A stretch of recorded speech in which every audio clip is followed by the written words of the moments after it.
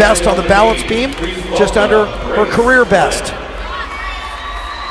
Kiana George, or excuse me, Grace Glenn, back over on the beam. George is next on the floor. Showing nice flexibility to start that routine. Moving right into the tumbling series, back handspring layout, step out to a perfect lunge. Grace has been in every meet, but only been on balance beam in every meet. She won this event at Arizona with a 995.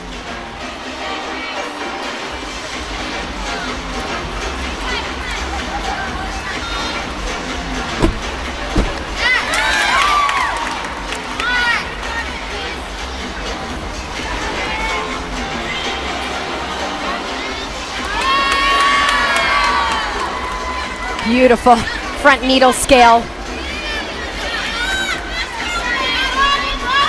Dismounting back handspring, layout full. Beautiful routine.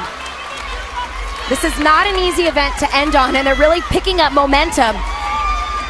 We always say this is the make or break event, the balance beam, but to win it on the balance beam is a complete